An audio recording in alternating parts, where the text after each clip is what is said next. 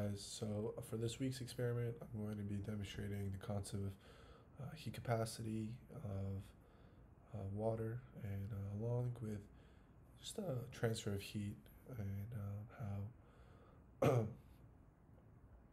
how uh, it may demonstrate conductivity and yeah. So we're gonna do that with um, some balloons and some fire uh, so uh, the design of the experiment is uh, quite simple. So first I'm going to uh, blow up the first balloon with some air, light it on fire, and then for the second design, um, I'm going to fill some water uh, in the balloon, and after the, some water is in the balloon, I'm gonna blow some air into it, and then I'm also gonna light that on fire, and we're gonna just make observations for each, and we're gonna see what happens. Okay, so first we're gonna do the balloon um, just with some air. So here I have the balloon and I'm, uh, I'm to blow it up and uh, we light it on fire and then let's see what happens.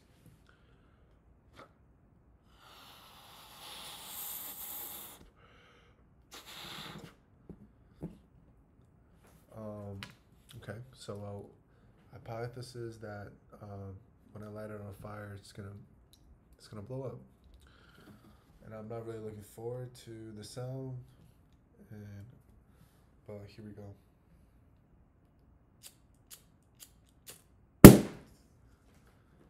Yep, I was not looking forward to that at all. But uh, as you can see, there's some.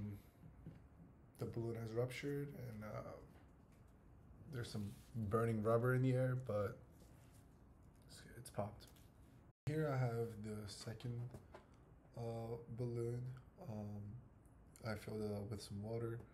Uh, you can't really see, but it's, you know, the balloon isn't transparent.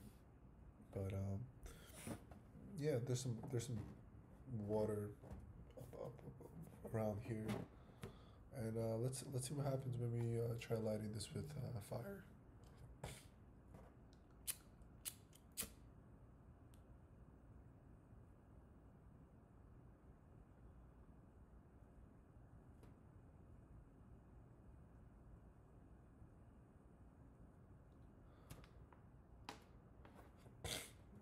Pretty cool, huh? Okay, so let's break it down. So, what happens with the first balloon?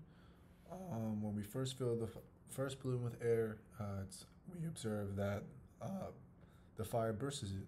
So, well, why did this happen? Because the rubber of the balloon, without the water, it becomes hot, and uh, to the point where the rubber isn't a good conductor of heat, and it becomes too weak to resist the pressure of the air inside the balloon. Now, with the second balloon, we observed that the presence of the water uh, prevents the balloon from popping. As you know, when I was, as you guys saw, when I had the flame under the balloon, it it it, it was unfazed. So why did this happen? Now this is because water has a high heat capacity, and it uh, allows the heat from the flame to be absorbed by the water, and thus the balloon doesn't pop.